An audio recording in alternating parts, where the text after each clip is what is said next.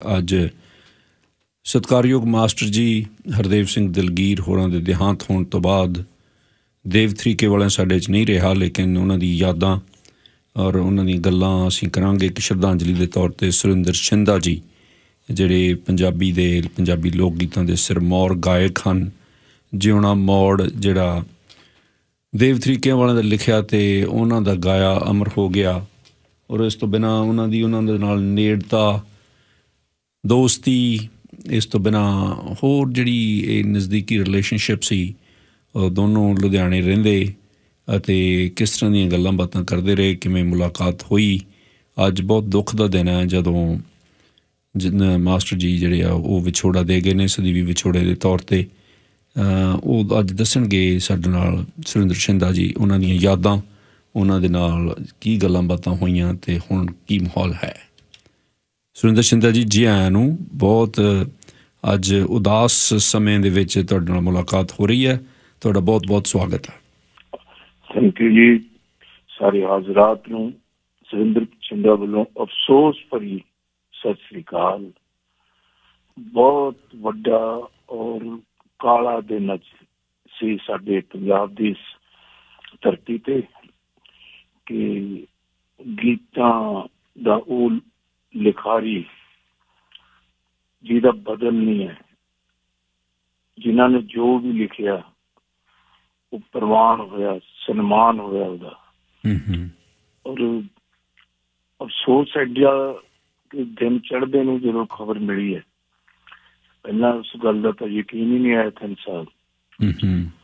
ਤੇ ਲੇਕਿਨ ਐਦਾਂ ਦੀਆਂ ਖਬਰਾਂ ਕਈ ਵਾਰੀ ਫੇਕ ਵੀ ਹੁੰਦੀਆਂ ਕਈ ਵਾਰੀ 75 80% ਮੌਤ ਦੀ ਖਬਰ ਕਈ ਵਾਰੀ ਸੱਚ ਹੀ ਹੁੰਦੀ ਹੈ ਤੇ ਇਹ ਵੀ ਸੱਚ ਹੋ ਨਹੀਂ ਪੜੀ ਤੇ ਤੁਹਾਨੂੰ ਅਕਸਰ ਮਿਲਦੇ ਰਹਿੰਦੇ ਸੀ ਜੀ ਹੁਣ ਉਹ ਜਦੋਂ ਤੁਸੀਂ ਲੁਧਿਆਣੇ ਰਹਿੰਦੇ ਸੀ? ਬਿਲਕੁਲ ਜੀ। ਯਾਨੀ ਮੇਰੇ ਘਰ ਤੋਂ ਕੋਈ ਜ਼ਿਆਦਾ ਨਹੀਂ 10 12 ਮਿੰਟ ਦਾ ਹੀ ਰਾਹ ਹੈ ਜਿੱਥੇ ਮੈਂ ਰਹਿਣਾ ਤੇ ਉਹ ਤਰੀਕਿਆਂ ਦੇ ਵਿੱਚ ਰਹਿੰਦੇ ਸੀ। ਤੇ ਮੁਲਾਕਾਤਾਂ ਅਕਸਰ ਜਦੋਂ ਕਈ ਵਾਰੀ ਉਹ ਉਦਾਸ ਹੋ ਜਾਂਦੇ ਸੀ ਮੈਨੂੰ ਕਹਿੰਦੇ ਸੀ ਆ ਜਾ ਫਿਰ ਗੱਲਾਂ ਬਾਤਾਂ ਕਰੀਏ। ਤੇ ਜਾਂ ਮੈਨੂੰ ਜਦੋਂ ਵੀ ਕੋਈ ਜ਼ਰੂਰਤ ਪੈਂਦੀ ਸੀ ਕੋਈ ਸੁਣਾ ਤੋਂ ਮੈਨੂੰ ਲੋੜ ਹੈ ਕਿਸੇ ਗੀਤ ਦੀ ਕਿਸੇ ਕਲੀ ਬਹਿਰ ਦੀ ਜਾਂ ਕੋਈ ਹੋਰ ਪੁੱਛ ਗਿੱਛ ਕਰਨੀ ਹੈ ਪੋਇਟਰੀ ਬਾਰੇ। ਹੂੰ ਹੂੰ। ਤੇ ਮੈਂ ਅਕਸਰ ਜਾਂਦਾ ਰਹਿੰਦਾ ਸੀ। ਹੁਣ ਕਦੋਂ ਮਿਲੇ ਸੀ ਤੁਸੀਂ ਉਹਨਾਂ ਨੂੰ? ਕੀ ਗੱਲਾਂ ਕਰਦੇ ਸੀ? ਹੁਣ ਨਵੇਂ ਸਾਲ ਤੇ ਮੁਲਾਕਾਤ ਹੋਈ ਸੀ। ਹੂੰ ਹੂੰ। ਉਦੋਂ ਵੀ ਬੜਾ ਠੰਡ ਦੀ ਜੀ ਜ਼ਿਆਦਾ ਪੈਂਦੀ ਸੀ। ਤੇ ਚਲੋ ਉਦੋਂ ਮੈਨੂੰ ਉਹਨਾਂ ਦੱਸਿਆ ਕਿ ਬਹੁਤਾ ਮਿਲ ਨਹੀਂ ਰਹੇ ਪਰ ਮੈਨੂੰ ਨਾ ਨਹੀਂ ਸੀ ਕਰਦੇ ਬਹੁਤ ਜ਼ਿਆਦਾ ਪਿਆਰ ਕਰਦੇ ਸੀ। ਤੇ ਕਿਉਂਕਿ ਜਿੱਥੇ ਰਿਸ਼ਤੇ ਸਾਡੇ ਇੱਕੋ ਪਿੰਡ ਦੇ ਵਿੱਚ ਮੇਰੀ ਘਰ ਵਾਲੀ ਤੇ ਬਾਈ ਜੀ ਉਹਨਾਂ ਦੇ ਘਰੋਂ। ਤਾਏ ਚਾਚੇ ਦੇ ਘਰਾਂ ਚੋਂ ਹੀ ਸੀਗੀਆਂ। ਅੱਛਾ ਜੀ। ਤੇ ਇਸ ਨਜ਼ਰੀਏ ਨਾਲ ਵੀ ਉਹ ਕਹਿ ਦਿੰਦੇ ਸੀ ਵੀ ਆਪਾਂ ਤਿੰਨ ਜਣੇ ਇੱਕੋ ਪਿੰਡ ਦੇ ਤਿੰਨ ਸਾਡੂ ਆ ਦੇ ਤਰੀਕਾਂ ਵਾਲਾ ਅਮਰੀਕ ਸਿੰਘ ਤਲਵੰਡੀ ਸੁਰਿੰਦਰ ਸ਼ਿੰਦਾ। ਹੂੰ। ਤੇ ਇਹ ਜਿਹੜੀ ਮੁਲਾਕਾਤ ਉਦੋਂ ਹੋਈ ਹੈ ਬਹੁਤੀਆਂ ਲੰਮੀਆਂ ਚੌੜੀਆਂ ਗੱਲਾਂ ਨਹੀਂ ਹੋਈਆਂ। ਸਿਰਫ ਮੈਂ ਮੁਬਾਰਕਾਂ ਦੇਣ ਵਾਸਤੇ ਗਿਆ ਸੀ ਤੇ ਕਹਿੰਦੇ ਚਾਹ ਚ ਪੀਣ ਦਾ ਮੂਡ ਹੈ। ਮੈਂ ਕਹਿੰਦੇ ਕੋਈ ਗੱਲਾਂ ਹੀ ਕਰਨ ਦਾ ਮੂਡ ਹੈ। ਕਹਿੰਦੇ ਅੱਜ ਮੈਂ ਪੂਰਾ ਸਿਹਤ ਯਾਦ ਨਹੀਂ ਹੈ। ਜੇ ਤੂੰ ਕੱਲ ਨੂੰ ਆ ਜਾਏਂਗੇ ਜਾਂ ਪਰਸੋਂ ਮੈਂ ਕਿਹਾ ਕੋਈ ਨਹੀਂ। ਤੇ ਕਈ ਵਾਰੀ ਉਹ ਗੱਲ ਚੇਤੇ ਰਹਿ ਜਾਂਦੀ ਹੈ। ਫਿਰ ਮੇਰੀ ਫੋਨ ਤੇ ਵੀ ਹੋਈ ਹੈ ਥੋੜੇ ਦਿਨ ਪਹਿਲਾਂ ਗੱਲ ਮੈਨੂੰ ਕਹਿੰਦਾ ਤੂੰ ਫਿਰ ਆਇਆ ਹੀ ਨਹੀਂ। ਹੂੰ। ਮੈਂ ਕਿਹਾ ਤੁਸੀਂ ਬਿਜ਼ੀ ਹੈ ਨਾ ਕਰਤਾ ਪੰਜ ਮਿੰਟ ਰਹਿੰਦੀ ਹੈ ਤੇ ਕਹਿੰਦੇ ਮਿਲ ਜਾਈਂ ਯਾਰ ਆ ਜੀ। ਬਸ ਉਹ ਗੱਲਾਂ ਦਿਲ ਦੀਆਂ ਦਿਲ ਵਿੱਚ ਰਹਿ ਗਈਆਂ।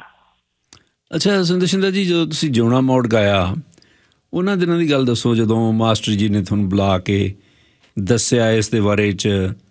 ਕਿਉਂਕਿ ਮੇਰਾ ਉੱਚਾ ਵਰਗ ਲਾਹੌਰ ਦਾ ਬਹੁਤ ਹਿੱਟ ਹੋ ਚੁੱਕਾ ਸੀ। ਜੀ ਜੀ। ਤੇ ਈਪੀ ਰਿਕਾਰਡ ਸੀ। ਉਹ ਬਹੁਤ ਵੱਡਾ ਹਿੱਟ ਮਿਲਿਆ। ਮਤਲਬ ਕੋਈ ਗੱਲਬਾਤ ਐਸੀ ਹੋਣੀ ਹੈ ਉਹ ਚਾਹੁੰਦੇ ਸੀ ਕਿ ਕੋਈ ਮੁੰਡਾ ਕੋਈ ਨਵਾਂ ਮੈਂ ਐਸਾ ਲਿਆਵਾਂ ਜਿਹਨੂੰ ਮੈਂ ਹੋਰ ਚੰਗੀ ਤਰ੍ਹਾਂ ਤਰਾਸ਼ ਕੇ ਹੋਰ ਵਧੀਆ ਢੰਗ ਨਾਲ ਮਾਰਕੀਟ 'ਚ ਸਿੱਟਾਂ। ਹੂੰ। ਸੋ ਨੈਸ਼ਨਲ 뮤직 ਕਾਲਜ ਉਸਤਾਦ ਭੰਗੜਾ ਸਾਹਿਬ ਦੇ ਕਾਲਜ ਦੇ ਵਿੱਚ ਮੇਰੀ ਉਹਨਾਂ ਦੀ ਮੁਲਾਕਾਤ ਪਹਿਲੀ ਹੋਈ ਸੀ। ਹੂੰ ਹੂੰ। ਉਸ ਤੋਂ ਬਾਅਦ ਫਿਰ ਉਹਨਾਂ ਨੇ ਉੱਥੇ ਇੱਕ ਪੋਸਟ ਕਾਰਡ ਹੁੰਦੇ ਸੀ ਤੁਹਾਨੂੰ ਤਾਂ ਤਿੰਨ ਸਭ ਪਤਾ ਜੀ ਜੀ ਜੀ। ਉਹਦੇ ਤੇ ਹੀ ਉਹਨਾਂ ਨੇ ਐਚਐਮ ਵਿੱਚ ਚਿੱਠੀ ਲਿਖਤੀ ਸੀ ਹੂੰ। ਕਿ ਆਹ ਮੁੰਡਾ ਆਪਾਂ ਰਿਕਾਰਡ ਕਰਨਾ ਜ਼ਹੀਰ ਅਹਿਮਦ ਸਾਹਿਬ ਨੂੰ।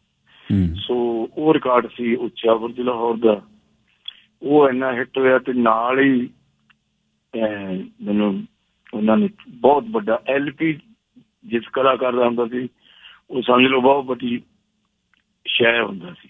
ਲੌਂਗ ਪਲੇ ਹਾਂਜੀ। ਕਿਉਂਕਿ ਐਲਪੀ ਪਹਿਲਾਂ ਨਰਿੰਦਰ ਵੀ- ਵਿਦਵਾ ਜੀ ਦੇ ਹੀ ਹੋਏ ਆ। ਹੂੰ ਹੂੰ। ਜਾਂ ਮਿਰਜ਼ਾ ਹੋਇਆ ਸੀ ਜੱਗੇ ਦਾ ਤੇ ਬੀਬਾ ਭੈਣ ਜੀ ਦਾ ਜਾਂ ਮਾਨਕ ਸਾਹਿਬ ਦੇ ਐਲਪੀ ਇੱਕ ਦੋ ਹੋਏ ਸੀ। ਫਿਰ ਮੇਰਾ ਹੋਇਆ ਸੀ ਨੈਣਾ ਦੇ ਬੰਜਾਰੇ ਹੂੰ। ਜਿਹਦੇ ਚ ਬਹੁਤ ਹਿੱਟ ਹੋਇਆ ਸੀ ਦੋ ਉਠਾਂ ਵਾਲੀ ਨੇ ਲੁੱਟ ਕੇ ਛੇ ਸੱਸੀ ਦੀ ਲੈ ਕੇ ਮਰ ਜੇ ਸਾਧੂ ਜੀ ਨਾ ਹੋਵੇ ਜਤੀ ਲੰਗੋਟੇ ਦਾ। ਸੋ ਉਹਦੇ ਵਿੱਚ ਸੋਹਣੀ ਮਹੀਵਾਲ ਸੀ। ਏਦਾਂ 12 ਕਿੱਸੇ ਸੀਗੇ। ਹੂੰ ਸੋ ਵੀ ਹਿੱਟ ਮਿਲੀ। ਤੇ ਉਸ ਤੋਂ ਬਾਅਦ ਫਿਰ ਮੈਨੂੰ ਇੱਕ ਦਿਨ ਅਸੀਂ ਬੈਠੇ ਸੀਗੇ ਤਰੀਕਿਆਂ ਤਰੀਕਾਂ ਵਾਲੇ ਠੇਕੇ ਤੇ ਪਿੱਛੇ ਇੱਕ ਤਖਤ ਪੋਸਟ ਤੇ। ਪਾਸ਼ ਵੀ ਸੀ। ਅੱਛਾ। ਪਾਸ਼ ਭਾਜੀ ਦੇ ਭਾਜੀ ਬੈਠੇ ਸੀਗੇ। ਤੇ ਫਿਰ ਉਹ ਮੈਨੂੰ ਕਹਿੰਦੇ ਵੀ ਹੁਣ ਮੌਕਾ ਹੈ। ਜਿਹੜੇ ਜਿਹੜੀਆਂ ਦੋ ਗੱਡੀਆਂ ਬਹੁਤ ਸਪੀਡ ਨਾਲ ਜਾ ਰਹੀਆਂ ਉਹਨਾਂ ਨੂੰ ਤੂੰ ਕਿਵੇਂ ਪਾਸ ਕਰਨਾ? ਉਹਦੇ ਲਈ ਮਿਹਨਤ ਕਰਨੀ ਪੈਣੀ ਹੈ। ਅੱਛਾ। ਮੈਂ ਕਿਹਾ ਦੱਸੋ ਕਹਿੰਦੇ ਫਿਰ ਇੱਕ ਨਵੀਂ ਗੱਲ ਕਰਦੇ ਆਪਾਂ। ਜਿਉਣਾ ਮੋੜ ਕਰਦੇ ਹਾਂ ਹੂੰ। ਫਿਰ ਉਹਨਾਂ ਨੇ ਮੈਨੂੰ ਜਿਉਣਾ ਮੋੜ ਪਹਿਲਾਂ ਵੈਸੇ ਹੀ ਸੁਣਾਇਆ। ਦੋ ਗੱਡੀਆਂ ਤੋਂ ਕੀ ਭਾਵ ਸੀ ਬਾਈ ਜੀ ਉਹਨਾਂ ਦਾ? ਮੈਂ ਨਾਂ ਨਹੀਂ ਲੈਣਾ ਕੋਈ ਵੀ ਦੋ ਸਿੰਗਰ ਸੀਗੇ ਬਹੁਤ ਸਪੀਡ ਨਾਲ ਚੱਲਦੇ ਸੀਗੇ। ਹੂੰ ਹੂੰ। ਔਰ ਕੰਪੀਟੀਸ਼ਨ ਦੀ ਗੱਲ ਸੀ। ਹੁੰਦਾ ਹੀ ਹੈ। ਜੀ ਜੀ ਜੀ। ਕੰਪੀਟੀਸ਼ਨ ਦੀ ਗੱਲ ਲਓ ਮੇਰੇ ਮਨ 'ਚ ਤਾਂ ਹੈ ਨਹੀਂ ਸੀ ਕਿ ਉਹ ਵੱਡ- ਸਟਾਰ ਸੀਗੇ। ਹੂੰ ਹੂੰ। ਸੋ ਇਹ ਚਾਹੁੰਦੇ ਸੀ ਵੀ ਕੁਛ ਏਦਾਂ ਦੀ ਗੱਲ ਹੋਵੇ ਵੀ ਵੀ ਐਡਾ ਵੱਡਾ ਹਿੱਟ ਮਿਲੇ ਤੇ ਸੁਰਿੰਦਰ ਚੰਦਾ ਸੁਰਿੰਦਰ ਚੰਦਾ ਹੋ ਜਾਏ ਫਿਰ ਉਹਦੇ ਜਦੋਂ ਡਾਇਲੋਗਾਂ ਤੇ ਗੱਲ ਆਈ ਕਿਉਂਕਿ ਉਦੋਂ ਸ਼ੋਅ ਲਈ ਫਿਲਮ ਵੀ ਉਹਦੇ। ਡਾਇਲੋਗ ਬਹੁਤ ਹਿੱਟ ਹੋ ਗਏ ਸੀ। ਹੂੰ ਹੂੰ ਹੂੰ।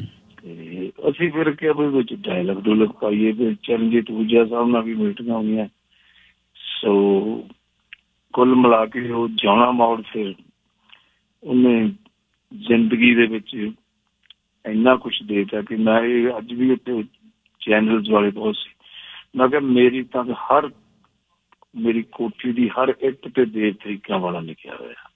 ਵਾਹ ਵਾਹ ਸੋ ਜਾਣਾ ਮੋੜ ਉਸ ਤੋਂ ਬਾਅਦ ਫਿਰ ਜਾਣਾ ਮੋੜ 2 ਵੀ ਹੋਇਆ। ਹੁਣ। ਰਿਲੀਜ਼ ਹੋਇਆ। ਉਹ ਸੁਰਖ ਸਿੰਘ ਗੁਲਾਬ ਗੁਲਾਬ ਸਿੰਘ ਸੁਰਖ ਸੁਰਖਪੁਰੀਆ ਕਬੱਡੀ ਦਾ ਪਲੇਅਰ ਹੈ ਉਹਨੇ ਲਿਖਿਆ ਸੀ। ਫਿਰ ਇਹਨਾਂ ਨੇ ਉਹਦੀ ਦਰੁਸਤੀ ਕੀਤੀ ਸੀ। ਅੱਛਾ।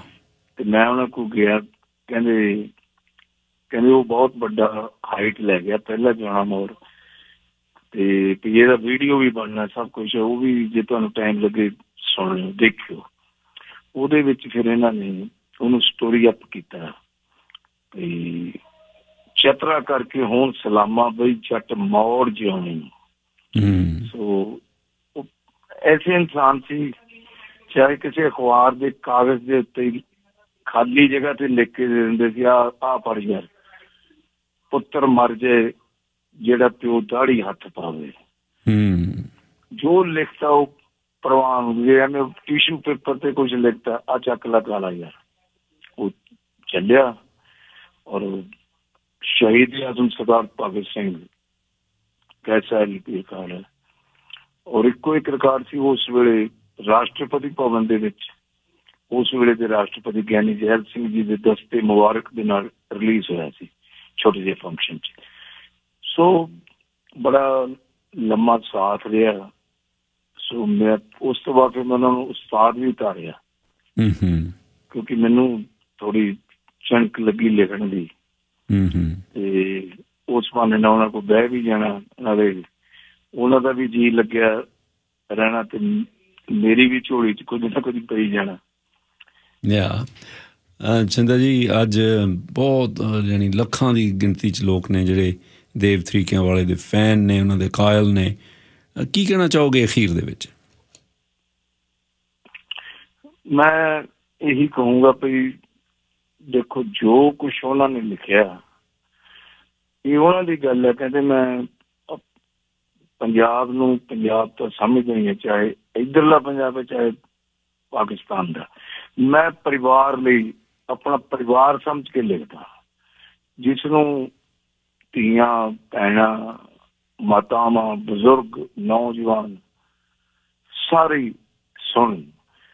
ਸੋ ਏਦਾਂ ਹੀ ਉਹਨਾਂ ਫਿਰ ਜਿਹੜਾ ਆਪਣੇ ਰੈਡ ਐਫਐਮ ਵਾਲੇ ਆਪਣੇ ਕਾਲਾ ਜੀ ਨੇ ਵੀ ਕੀਤਾ ਸੀ ਕ੍ਰਿਸ਼ਨਾ ਮੋੜ। ਹਾਂ। ਉਹਦੇ 'ਚ ਵੀ ਉਹਨਾਂ ਨੇ ਕਮਾਲਾਂ ਕਰਤੀਆਂ। ਬੰਦਾ ਤੁਰ ਜਾਂਦਾ ਜਗ ਤੋਂ ਯਾਦਾਂ ਰਹਿ ਜਾਂਦੀਆਂ ਨੇ। ਸੋ ਅੱਜ ਉਹਨਾਂ ਦੀਆਂ ਯਾਦਾਂ ਰਹਿ ਗਈਆਂ। ਸੋ ਜਿਸ ਕਲਾਕਾਰ ਦਾ ਹੱਥ ਫੜਿਆ ਉਹ ਬਸ ਐਵਰੈਸਟ ਦੇ ਪਹਾੜ ਵਾਂਗੂ ਚੜਾਈ ਕੀਤੀ ਉਹਨੇ। ਐਡਾ ਕੋਈ ਹੱਥ ਦੇ ਵਿੱਚ ਜੱਤ ਸੱਚ ਉਹਨਾਂ ਦੇ। ਬਿਲਕੁਲ। ਸੋ ਵਿਛੋੜੇ ਪੈ ਗਏ। ਤੇ ਸਾਨੂੰ ਤਾਂ ਹੁਣ ਕੋਈ ਜਗ੍ਹਾ ਵੀ ਨਹੀਂ ਲੱਭਦੀ ਕਿਹਨਾਂ ਕੋਲ ਜਾ ਕੇ ਸਿੱਖੀਏ? ਕਿਹਨਾਂ ਕਿਉਂਕਿ ਸਾਰੀ ਦੁਨੀਆ ਉਹ ਕਿਰਪਾ ਸਾਡੇ ਪੈਰੀ ਹੱਥ ਲਾਈ ਜਾਂਦੇ ਅਸੀਂ ਕਹਿੰਦੇ ਨਾ ਲਾਇਆ ਕਰੋ। ਜਿਹਦੇ ਬਣਦੇ ਉਹਦੇ ਲਾਇਓ। ਹੁਣ ਬਣਦੇ ਤਾਂ ਭਾਜੀ ਦੇਵ ਦੇ ਤਰੀਕਿਆਂ ਵਾਲੇ ਦੇ ਪਰ ਹੁਣ ਉਹੀ ਨਹੀਂ ਰਿਹਾ। ਤੇ ਮਨ ਬਹੁਤ ਉਦਾਸ ਹੈ। ਥੈਂਕ ਯੂ ਸੋ ਅੱਜ ਉਹਨਾਂ ਦੀ ਅੰਤਮ ਯਾਤਰਾ ਦੇ ਵਿੱਚ ਮੈਂ ਲੋਕ ਰੋਂਦੇ ਦੇਖਿਆ। ਪਿੰਡ ਦੀਆਂ ਬੁੜੀਆਂ ਰੋ ਰਹੀਆਂ ਚੁੰਨੀ ਰੱਖ ਕੇ ਮੂਰੇ ਹੰਝੂ ਪੂੰਦੀਆਂ। ਸੋ ਦੁਨੀਆ ਦਾ ਹਜ਼ੂਮ ਇਕੱਠਾ ਹੋਇਆ ਹੋਇਆ ਸੀ। ਥੈਂਕ ਯੂ ਵੀਰ ਜੀ। ਥੈਂਕ ਯੂ ਬਹੁਤ ਬਹੁਤ ਮਿਹਰਬਾਨੀ ਤੁਹਾਡੀ ਟਾਈਮ ਦੇਣ ਲਈ। ਓਕੇ ਜੀ ਸਤਿ ਸ਼੍ਰੀ ਸਾਰਿਆਂ ਨੂੰ ਅਕਾਲ, ਸਤਿ ਸ਼੍ਰੀ ਅਕਾਲ।